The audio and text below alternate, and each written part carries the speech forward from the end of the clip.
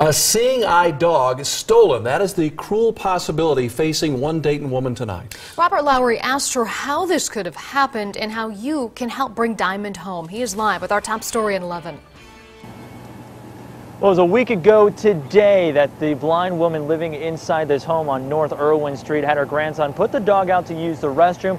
That was the last time they saw that dog. Now, they're asking the community for help after searching this area this neighborhood for the last seven days, and now they're asking the community for some assistance. All I know is she's my protector, and I need her back. A plea for help from Cheryl Williams. The Dayton woman has spent a week looking for her Rottweiler named Diamond.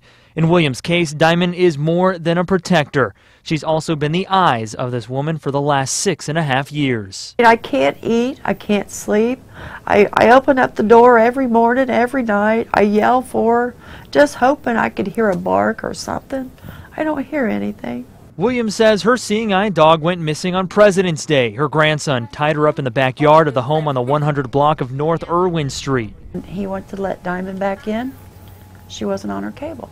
I was sitting and um, I was sitting on this and crying. For a week, the family searched their neighborhood, even bringing in another dog to help sniff out the missing Rottweiler. He came in and he sniffed all around and he jumped up in the truck and we canvassed this neighborhood from Springfield Street to London Avenue. Now, Williams is asking for the community's help. Diamond is described as a purebred Rottweiler with a choker collar and tags.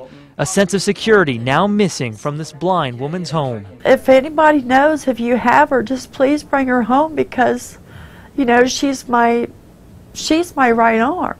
She she protects me. She protects my daughter. She protects my grandchildren.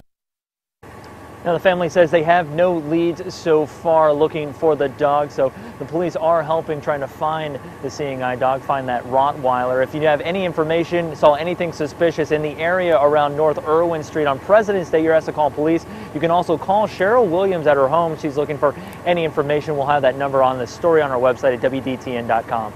Reporting Robert Lowry, 2 News, working for you.